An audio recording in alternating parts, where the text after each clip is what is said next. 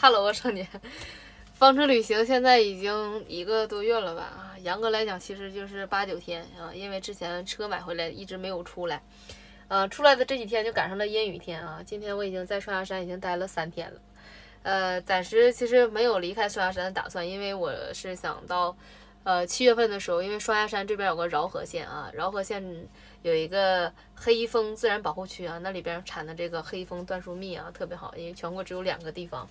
有这个黑蜂啊，饶河是其中一个，但是这个国家级的自然保护区的黑蜂只有这里有，所以说我想买一点这边的这个蜂蜜，嗯，等它这个新蜜下来之后买点蜂蜜我再走。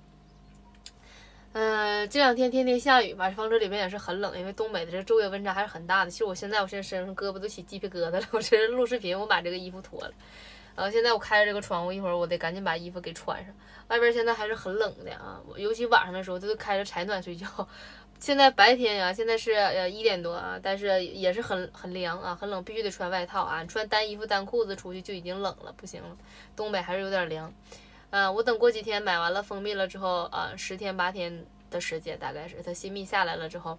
呃，然后我就准备呃出发了。我先从内蒙走。如果去内蒙看，我计划是从横穿内蒙，然后去宁夏、青海，最后去新疆。如果要是内蒙也很冷的话，我就先不去内蒙了。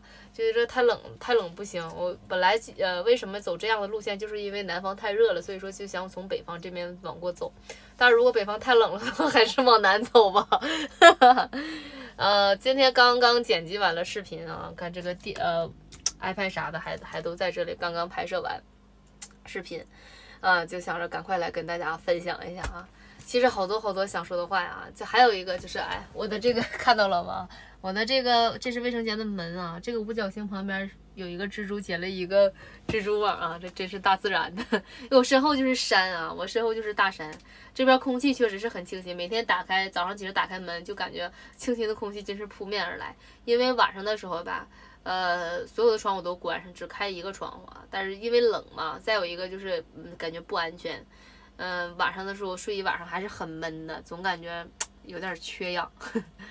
呃，到南方就不知道该怎么办了。南方热的话，到时候看看，嗯，是该怎么搞。现在北方就先这么将就一下。好，今天就到这儿了，拜拜。